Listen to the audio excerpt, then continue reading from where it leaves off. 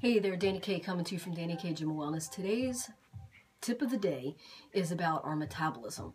Um, there's a lot of misconceptions about what metabolism is.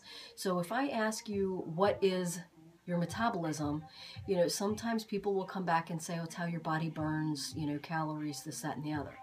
Um, some people have slow metabolism, some people have fast metabolism. It's how your body burns calories in actuality, I mean that's that's what your metabolism does. That's what your body. That's what your metabolism does for your body. What your metabolism is is hormones. Um, so the, the the purpose of eating proper is is so many different things. I mean, it's how you see your results.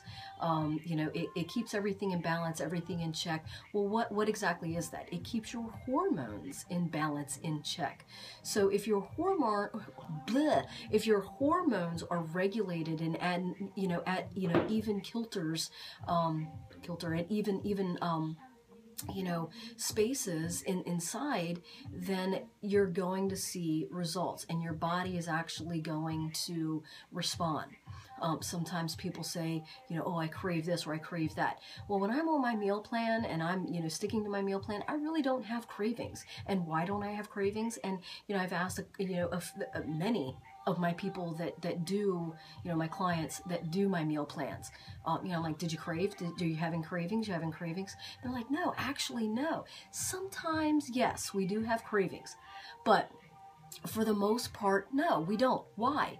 Well because we're feeding what our body needs. We're feeding our body what it needs. We're feeding our hormones. We're keeping things at this even kilter this even space so that's the important thing, you know, that's what we need to do in order to see results, you know, to, to you know, balance things out, balance things out here, balance things out inside, balance, you know, organs, balance hormones, balance everything, and you actually see the outside physical results as well.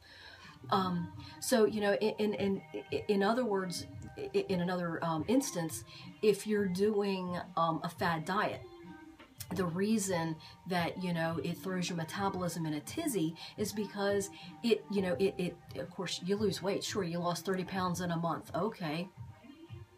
Good for you. Whatever but the thing is, when you when you're doing something like that, you're throwing your metabolism, your hormones into a tizzy. So you might be only, you know, fixing or working on these hormones, but you've got all these other ones that are still causing different things or still not in balance, still not in check.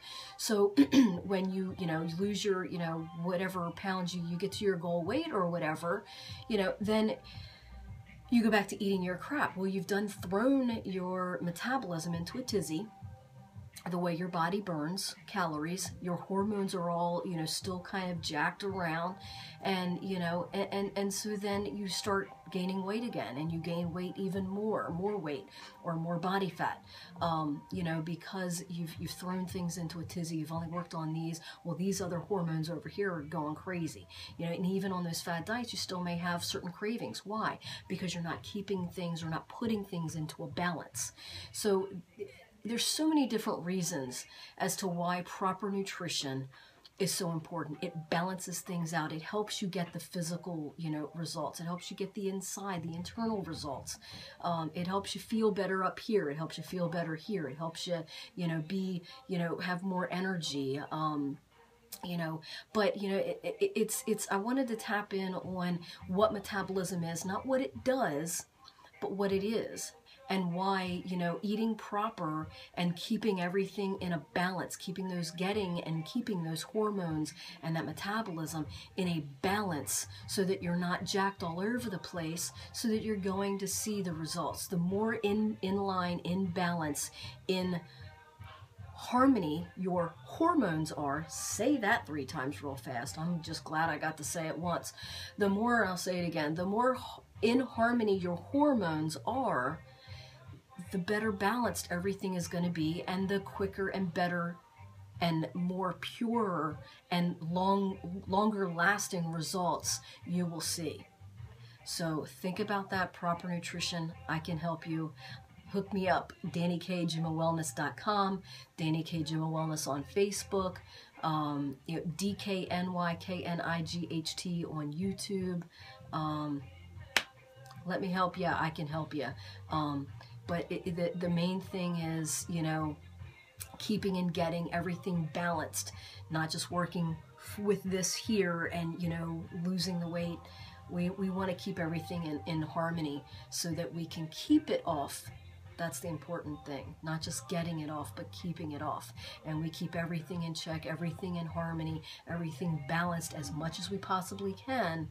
And the cravings won't be there. We're feeding the, the, the body the right things. The hormones are more balanced. The metabolism, which is hormones, are more balanced, which then the metabolism can do what it's supposed to be doing.